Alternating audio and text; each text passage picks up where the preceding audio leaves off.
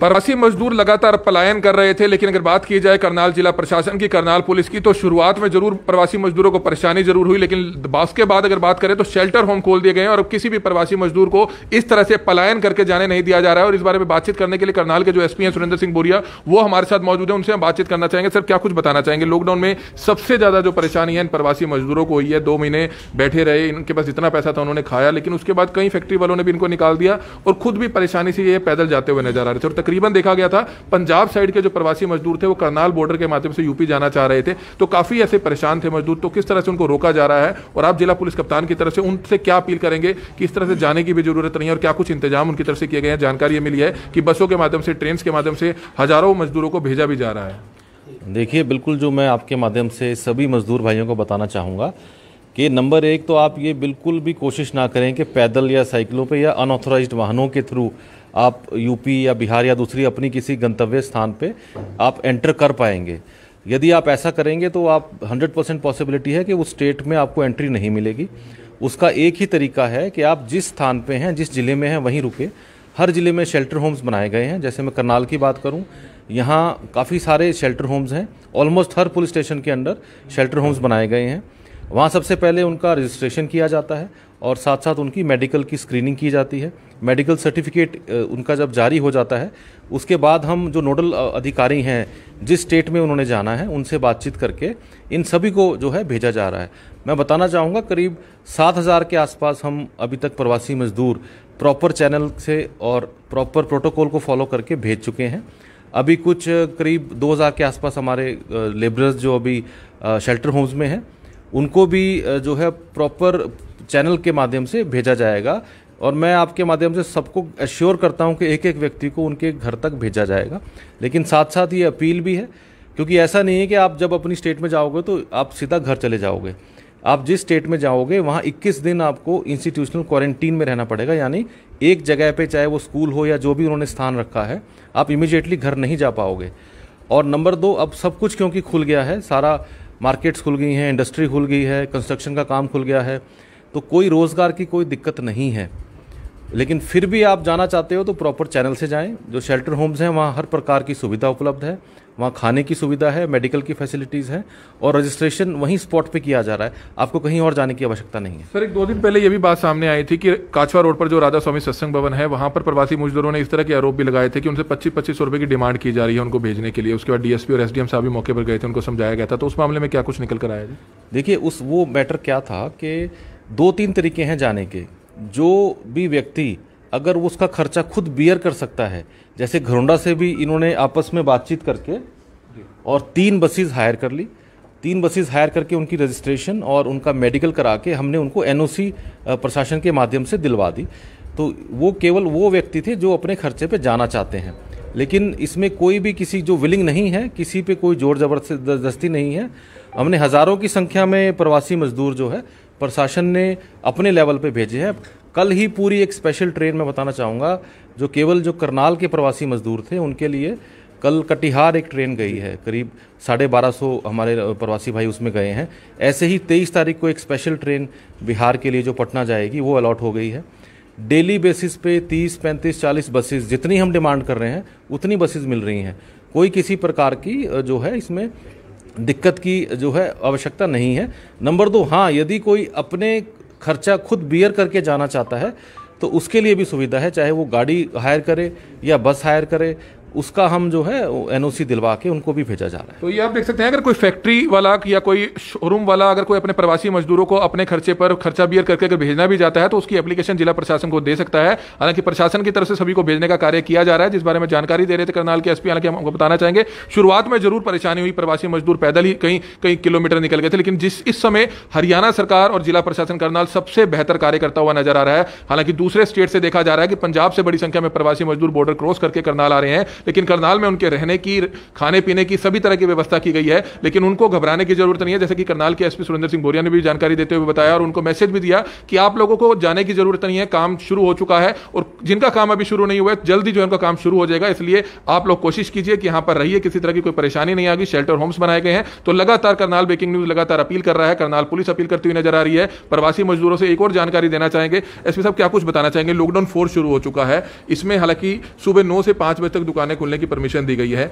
और किस तरह की अभी भी आप सोच रहे हैं कि कई लोग चोरी छिपके करके गैदरिंग इकट्ठी हो रही है? तो उनके खिलाफ भी कार्रवाई की जाएगी। कई बार देखा जाता है कि पचास सौ सौ लोग कहीं जगह इकट्ठे हो, रहे हैं। तो ऐसे लोगों को क्या मैसेज देना चाहेंगे?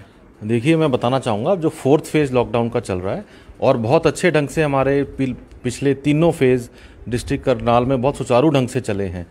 तो जो गवर्नमेंट की इंस्ट्रक्शंस हैं जो डायरेक्शंस हैं उसे फॉलो कीजिए।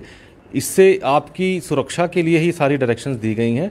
गैदरिंग तो बिल्कुल भी किसी प्रकार की अलाउड नहीं है। कृपया करके आप ये मत सोचिए कि आपको ये भी जानकारी नहीं कि किसको कौन कोरोना पॉजिटिव हो सकता है। जैसे कि आपने केसेस देखने में आया किसी के कोई सिम्टम नहीं थे, लेकिन जिनकी ट्रैवल हिस्ट्री थी, जब उनको टेस्ट किया गया तो वो पॉजिटिव पाए गए। तो ये अपनी जान जोखिम में डालने की बात है और सारी जिम्मेवारी इस फोर्थ फ़ेज़ में खुद जनता के ऊपर है। वो अपनी जिम्मेवारी समझें और लॉकडाउन का पालन करें। धन्यवाद सर। तो ये देखा आपने कि करनाल के एसपी सुरेंद्र सिंह बोरिया महत्वपूर्ण जानकारी देते हुए, प्रवासी मजदूरों के नाम एक बहुत ज़रूरी मैसेज देते हुए, सभी फैक्ट्री वालों के लिए एक बहुत ज़रूरी मैसेज देते हुए, लेकिन इस समय ज़रूरत है कि जो सबसे ज़्यादा परेशान है, लगातार करनाल ब्रेकिंग न्यूज़, उनका दर्द दिखाता रहता है, वह है प्रवासी मजदूर और उनका परिवार। जितनी सहायता आप उनकी कर सकते हैं, इस दौरान उनकी सहायता करनी चाहिए। जिला प्रशासन, हरियाणा सरकार अपनी तरफ़ से अच्छा कार्य करती हुई नज़र आ रही है, लेकिन लाखों की संख्या में प्रवासी मजदूर जो पलायन करके आ रहे हैं, करनाल के माध्यम से वह उत्तर प्रदेश, बिहार और मध्य प्रदेश जाते हैं तो उनको रोकना अपने आप में बहुत परेशानी भरा कारण ज़रूर रहता है, लेकिन सभी लोगों से अपील की जाती है, सभी राजनीतिक पार्टियों से अपील की जाती है, सभी सामाजिक संस्थाओं से अपील की जाती है, बढ़ चढ़कर आगे आएँ और इन प्रवासी मजदूरों को समझाएँ, इनकी काउंसलिंग करें, ताकि ये इस तरह से अपने अपने परिवारों के साथ अपना काम धंधा छोड़कर पलायन ना करें। Kamal Midda Karnal breaking news, Karnal. प्रवासी मजदूर लगातार पलायन कर रहे थे, लेकिन अगर बात की जाए करनाल जिला प्रशासन की, करनाल पुलिस की तो शुरुआत में ज़रूर प्रवासी मजदूरों को परेशानी ज़रूर हुई, लेकिन उसके बाद अगर बात करें तो शेल्टर होम खोल दिए गए हैं और अब किसी भी प्रवासी मजदूर को इस तरह से पलायन करके जाने नहीं दिया जा रहा है। और इस बारे में बातचीत करने के लिए करनाल के जो एसपी हैं, सुरेंद्र सिंह बोरिया, वो हमारे साथ मौजूद है, उनसे हम बातचीत करना चाहेंगे। सर, क्या कुछ बताना चाहेंगे? लॉकडाउन में सबसे ज़्यादा जो परेशानी है इन प्रवासी मजदूरों को हुई है, दो महीने बैठे रहे, इनके पास इतना पैसा था उन्होंने खाया, लेकिन उसके बाद कई फैक्ट्री वालों ने भी इनको निकाल दिया और खुद भी परेशानी से ये पैदल जाते हुए नज़र आ रहे थे। और तकरीबन देखा गया था, पंजाब साइड के जो प्रवासी मजदूर थे, वो करनाल बॉर्डर के माध्यम से यूपी जाना चाह रहे थे। तो काफ़ी ऐसे परेशान थे मजदूर। तो किस तरह से उनको रोका जा रहा है? और आप जिला पुलिस कप्तान की तरफ़ से उनसे क्या अपील करेंगे? कि इस तरह से जाने की भी ज़रूरत नहीं है? और क्या कुछ इंतज़ाम उनकी तरफ़ से किए गए हैं? जानकारी मिली है कि बसों के माध्यम से ट्रेन के माध्यम से हज़ारों मजदूरों को भेजा भी जा रहा है। देखिए, बिल्कुल जो मैं आपके माध्यम से सभी मजदूर भाइयों को बताना चाहूँगा कि नंबर एक तो आप ये बिल्कुल भी कोशिश ना करें कि पैदल या साइकिलों पे या अनऑथोराइज्ड वाहनों के थ्रू आप यूपी या बिहार या दूसरी अपनी किसी गंतव्य स्थान पे आप एंटर कर पाएँगे। यदि आप ऐसा करेंगे तो आप 100 परसेंट पॉसिबिलिटी है कि उस स्टेट में आपको एंट्री नहीं मिलेगी। उसका एक ही तरीका है कि आप जिस स्थान पे हैं, जिस ज़िले में हैं, वहीं रुके। हर ज़िले में शेल्टर होम्स बनाए गए हैं। जैसे मैं करनाल की बात करूँ, यहाँ काफ़ी सारे शेल्टर होम्स हैं। ऑलमोस्ट हर पुलिस स्टेशन के अंडर शेल्टर होम्स बनाए गए हैं। वहाँ सबसे पहले उनका रजिस्ट्रेशन किया जाता है। और साथ साथ उनकी मेडिकल की स्क्रीनिंग की जाती है। मेडिकल सर्टिफिकेट उनका जब जारी हो जाता है, उसके बाद हम जो नोडल अधिकारी हैं, जिस स्टेट में उन्होंने जाना है, उनसे बातचीत करके इन सभी को जो है भेजा जा रहा है। मैं बताना चाहूँगा, करीब सात हज़ार के आसपास हम अभी तक प्रवासी मजदूर प्रॉपर चैनल से और प्रॉपर प्रोटोकॉल को फॉलो करके भेज चुके हैं।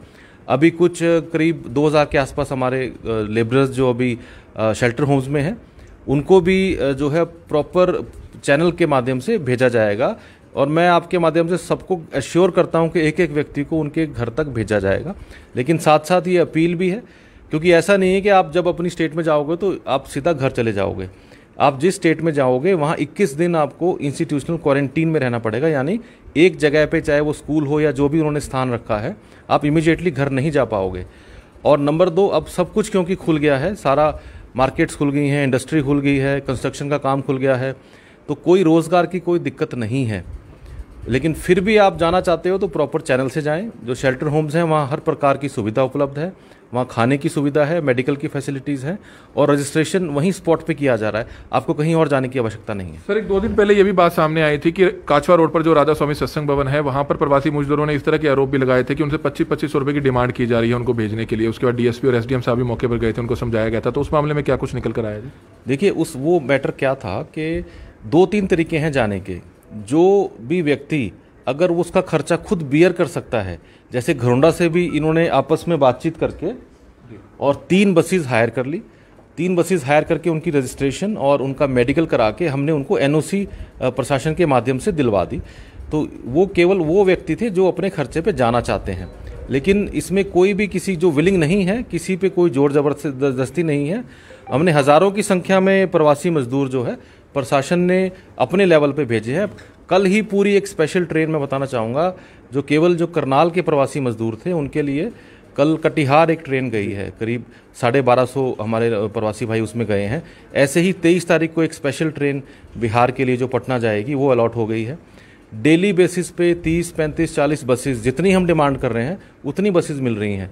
कोई किसी प्रकार की जो है इसमें दिक्कत की जो है आवश्यकता नहीं है। नंबर दो हाँ यदि कोई अपने खर्चा खुद बियर करके जाना चाहता है तो उसके लिए भी सुविधा है, चाहे वो गाड़ी हायर करे या बस हायर करे। उसका हम जो है एनओसी दिलवा के उनको भी भेजा जा रहा है। तो ये आप देख सकते हैं, अगर कोई फैक्ट्री वाला या कोई शोरूम वाला, अगर कोई अपने प्रवासी मजदूरों को अपने खर्चे पर खर्चा बियर करके अगर भेजना भी जाता है तो उसकी एप्लीकेशन जिला प्रशासन को दे सकता है। हालाँकि प्रशासन की तरफ़ से सभी को भेजने का कार्य किया जा रहा है, जिस बारे में जानकारी दे रहे थे करनाल के एसपी, हालाँकि हम आपको बताना चाहेंगे, शुरुआत में ज़रूर परेशानी हुई, प्रवासी मजदूर पैदल ही कहीं कई किलोमीटर निकल गए थे, लेकिन जिस, इस समय हरियाणा सरकार और जिला प्रशासन करनाल सबसे बेहतर कार्य करता हुआ नज़र आ रहा है। हालाँकि दूसरे स्टेट से देखा जा रहा है कि पंजाब से बड़ी संख्या में प्रवासी मजदूर बॉर्डर क्रॉस करके करनाल आ रहे हैं। लेकिन करनाल में उनके रहने की, खाने पीने की सभी तरह की व्यवस्था की गई है, लेकिन उनको घबराने की ज़रूरत नहीं है, जैसे कि करनाल के एसपी सुरेंद्र सिंह बोरिया ने भी जानकारी देते हुए बताया और उनको मैसेज भी दिया कि आप लोगों को जाने की ज़रूरत नहीं है, काम शुरू हो चुका है और जिनका काम अभी शुरू नहीं हुआ है, जल्दी जो है उनका काम शुरू हो जाएगा, इसलिए आप लोग कोशिश कीजिए कि यहाँ पर रहिए, किसी तरह की कोई परेशानी नहीं आएगी, शेल्टर होम्स बनाए गए हैं। तो लगातार करनाल ब्रेकिंग न्यूज़ लगातार अपील कर रहा है, करनाल पुलिस अपील करती हुई नज़र आ रही है। प्रवासी मजदूरों से एक और जानकारी देना चाहेंगे। एसपी साहब, क्या कुछ बताना चाहेंगे? लॉकडाउन फोर शुरू हो चुका है। इसमें हालाँकि सुबह नौ से पाँच बजे तक दुकानें खुलने की परमिशन दी गई है।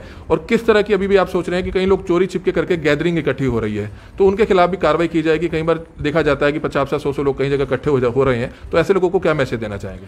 देखिए, मैं बताना चाहूँगा, जो फोर्थ फ़ेज़ लॉकडाउन का चल रहा है, और बहुत अच्छे ढंग से हमारे पिछले तीनों फ़ेज़ डिस्ट्रिक्ट करनाल में बहुत सुचारू ढंग से चले हैं। तो जो गवर्नमेंट की इंस्ट्रक्शंस हैं, जो डायरेक्शंस हैं, उसे फॉलो कीजिए। इससे आपकी सुरक्षा के लिए ही सारी डायरेक्शंस दी गई हैं। गैदरिंग तो बिल्कुल भी किसी प्रकार की अलाउड नहीं है। कृपया करके आप ये मत सोचिए कि आपको ये भी जानकारी नहीं कि किसको कौन कोरोना पॉजिटिव हो सकता है। जैसे कि आपने केसेस देखने में आया किसी के कोई सिम्टम नहीं थे, लेकिन जिनकी ट्रैवल हिस्ट्री थी, जब उनको टेस्ट किया गया तो वो पॉजिटिव पाए गए। तो ये अपनी जान जोखिम में डालने की बात है और सारी जिम्मेवारी इस फोर्थ फ़ेज़ में खुद जनता के ऊपर है। वो अपनी जिम्मेवारी समझें और लॉकडाउन का पालन करें। धन्यवाद, सर। तो ये देखा आपने कि करनाल के एसपी सुरेंद्र सिंह बोरिया महत्वपूर्ण जानकारी देते हुए प्रवासी मजदूरों के नाम एक बहुत ज़रूरी मैसेज देते हुए, सभी फैक्ट्री वालों के लिए एक बहुत ज़रूरी मैसेज देते हुए, लेकिन इस समय ज़रूरत है कि जो सबसे ज़्यादा परेशान है, लगातार करनाल ब्रेकिंग न्यूज़, उनका दर्द दिखाता रहता है, वह है प्रवासी मजदूर और उनका परिवार। जितनी सहायता आप उनकी कर सकते हैं, इस दौरान उनकी सहायता करनी चाहिए। जिला प्रशासन, हरियाणा सरकार अपनी तरफ़ से अच्छा कार्य करती हुई नज़र आ रही है, लेकिन लाखों की संख्या में प्रवासी मजदूर जो पलायन करके आ रहे हैं, करनाल के माध्यम से वह उत्तर प्रदेश, बिहार और मध्य प्रदेश जाते हैं तो उनको रोकना अपने आप में बहुत परेशानी भरा कारण ज़रूर रहता है, लेकिन सभी लोगों से अपील की जाती है, सभी राजनीतिक पार्टियों से अपील की जाती है, सभी सामाजिक संस्थाओं से अपील की जाती है, बढ़ चढ़ कर आगे आएँ और इन प्रवासी मजदूरों को समझाएँ, इनकी काउंसलिंग करें, ताकि ये इस तरह से अपने अपने परिवारों के साथ अपना काम धंधा छोड़कर पलायन ना करें। Kamal Midda Karnal breaking news, Karnal.